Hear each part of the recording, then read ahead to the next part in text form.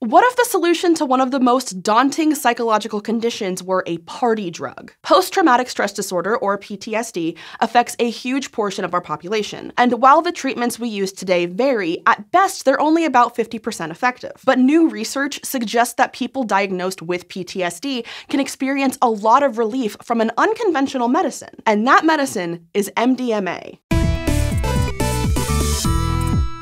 People with PTSD often experience fear or stress, even when they're not in danger. It can result from a range of previous experiences, such as witnessing someone's death or a physical assault. If you experience PTSD, you might be familiar with symptoms like flashbacks, numbed emotional responses, and sleep problems. So, this is one of those things that can influence every aspect of your life. But despite its broad impact, researchers aren't totally sure what's going on in your body to cause those symptoms. One chemical that might hold some answers is oxytocin. This is a molecule that regulates your anxiety and memories. And rat studies suggest that when you've got a lot of it, oxytocin mainly goes to the emotional center of your brain, called the amygdala, and decreases your fear and anxiety. That means having a lot of oxytocin is typically great because it keeps you calm. And a study published in 2021 found that PTSD patients had significantly less oxytocin than people without the condition. The authors of that study suggested that this could be a source of their stress, although they acknowledge that it's tough to measure this stuff, so more research is needed. Right now, we're kind of of in a chicken or egg situation regarding the link between oxytocin and PTSD. People who have a particular variety of oxytocin related genes might be at higher risk for PTSD.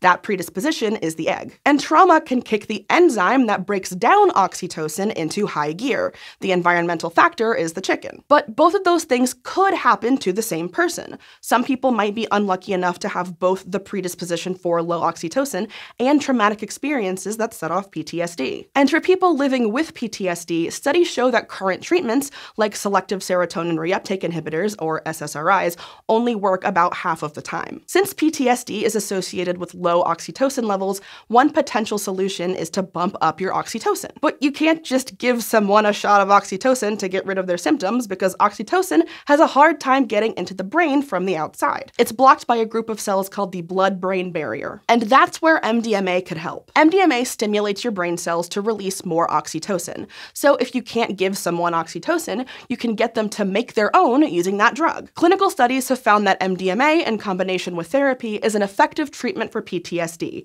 and these were the most thorough tests we do. They were placebo controlled, so half of the participants got MDMA and the other half got a pill that didn't do anything. They were randomized, so no selection went into who got MDMA and who didn't. They were double blind, so neither the participants nor the researchers knew who got MDMA during testing. They were conducted in multiple testing sites so the results could be more broadly applicable to people in different places. And they were phase three clinical trials, so they'd already passed the basic research and first two rounds of human studies. After the trials, most of the participants who had been given MDMA weren't even diagnosable as having PTSD anymore. And several participants who hadn't been able to work due to their PTSD symptoms returned to work. Another study followed up with participants who had undergone a similar treatment three years after being given the drug. They found that the treatment continued to be effective.